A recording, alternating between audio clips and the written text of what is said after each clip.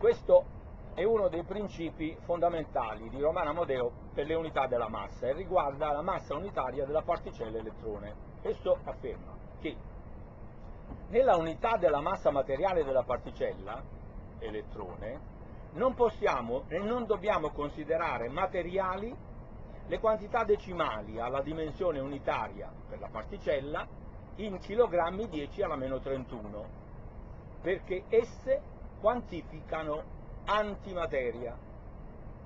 Infatti la dimensione riferita al chilo dalla dimensione 10 alla meno 31 kg riguarda l'unità della particella, ossia il prodotto tra la sua materia e la sua antimateria. Essa si esprime come n ennesimi, ma la quantità materiale è solo data dalla n e non dagli ennesimi. L'unica cosa da capire è perché la massa unitaria della particella è unitaria alla dimensione di 10 alla meno 31 kg. Dobbiamo considerare la sua dimensione inversa, quella data da 10 elevato a 31 kg e immaginarla quantificata in unità atomiche.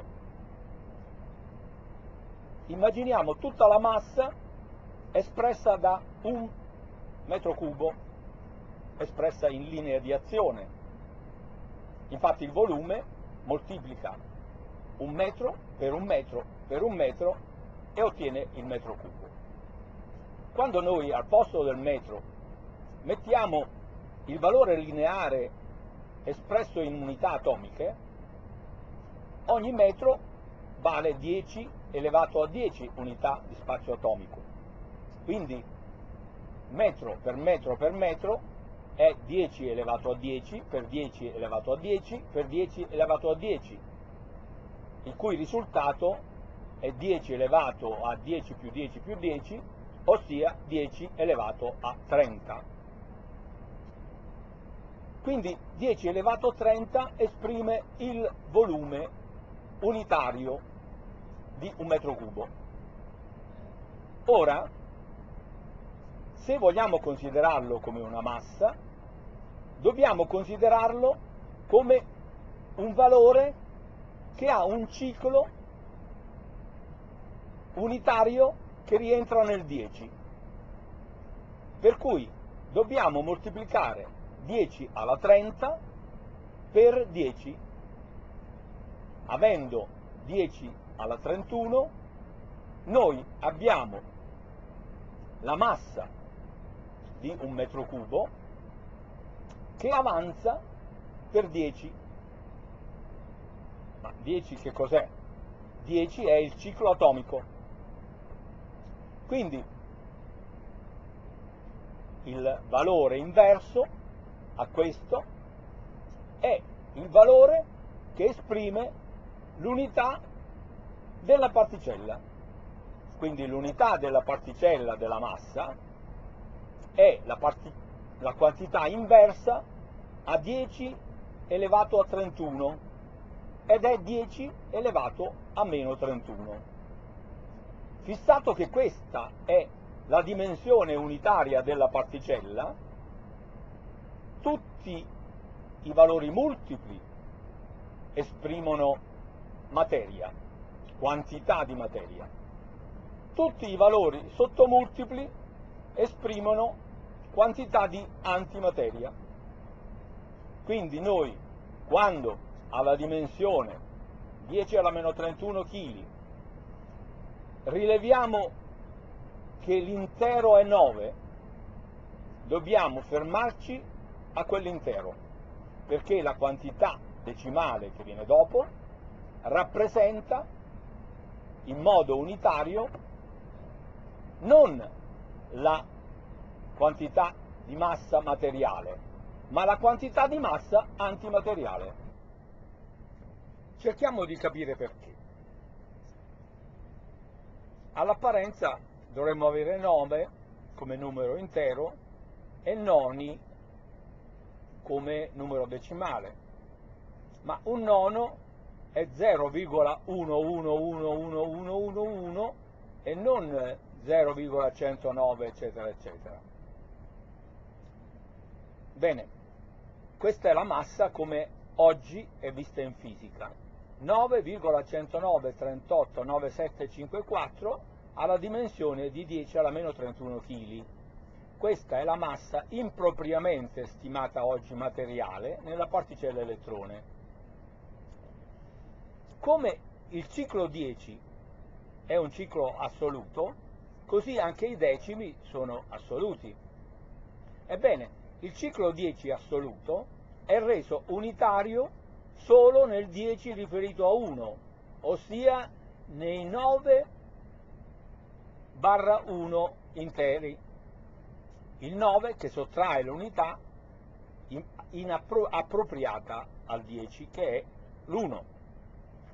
Bene, allo stesso modo nei decimi successivi, che sono tutti valori assoluti nello 0,111111, bisogna sottrarre proprio l'unità appropriata essa è data dallo 0,001721357 che sottratta a 0,111111 lascia misurate da questa unità lo 0,109389754 che appare aggiunto inappropriatamente, impropriamente al 9 intero.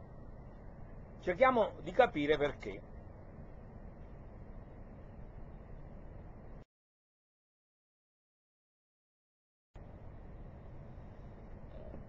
Poiché 0,0 001721357 è la quantità decimale che si sottrae a 0,1111 per determinare la quantità residua, vediamo perché è l'unità appropriata.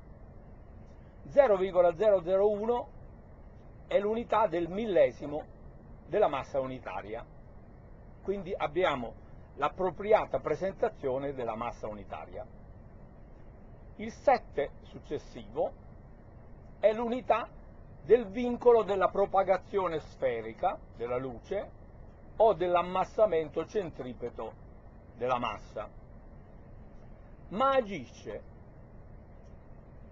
prima in linea reale, ossia 7 alla dimensione unitaria reale 10 alla meno 4, poi nel volume, ossia 7 per 3, 21, a livello di spazio complesso, cioè di unità 10 alla meno 6. Poi nell'elettromagnetismo, ossia 7 per 5, 35, complesso, ossia a livello di 10 alla meno 8. E infine in linea riferita a 10 unità atomiche come 7 per 10 elevato alla meno 9. Ciò significa che noi abbiamo come intero 10 e come decimali una quantità di decimi e fino a questo livello noi abbiamo valori assoluti sia nei valori unitari che in quelli decimali.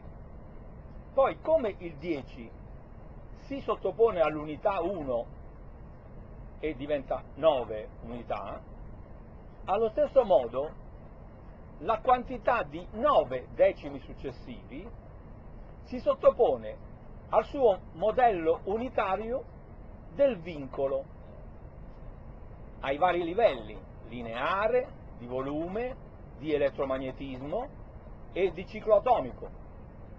Questo modello unitario si pone come unitario nei confronti della quantità assoluta 0,11111111 e come al 10 si sottraeva, si sottraeva 1 per dare il 9, a questo 0,1111 si sottrae questo valore unitario che noi abbiamo visto dipendere dai vincoli.